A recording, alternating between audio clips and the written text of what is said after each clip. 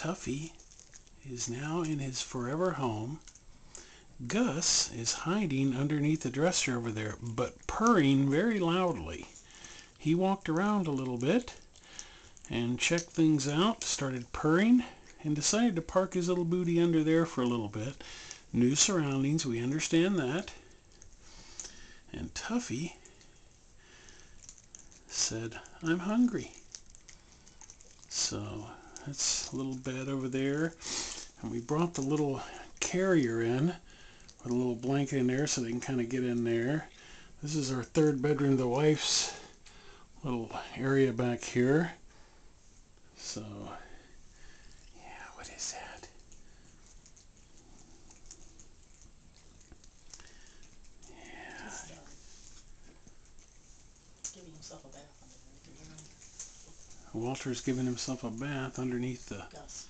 Gus, excuse me. Walter is Gus's friend that passed away. And so we brought Gus home to live with us.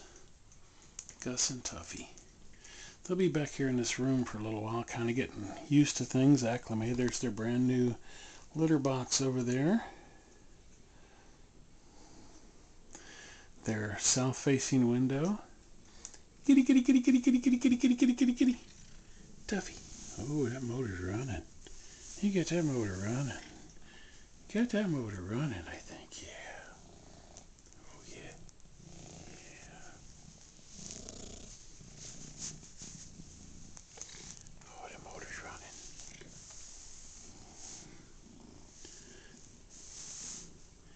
Checking everything out? Nothing dangerous under there. I don't think so. Is that him? And Gus is over there purring up a storm. Happy as he can be. Kitty, kitty, kitty, kitty, kitty.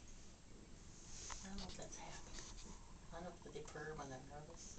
Well, I, he- way to relax. see, he's kind of. I think he's over there because you remember when he was in the get acquainted room, he kept wanting to go out there and he, he kind of felt safe back in his cage, I think. Know, And I think he feels safety safe under there. that's okay. And over time, I think he'll he'll kind of he'll kind of come around and be just fine. They've got their own TV back here. I Had to put on the Animal Planet for them, and yeah, they're just doing fine.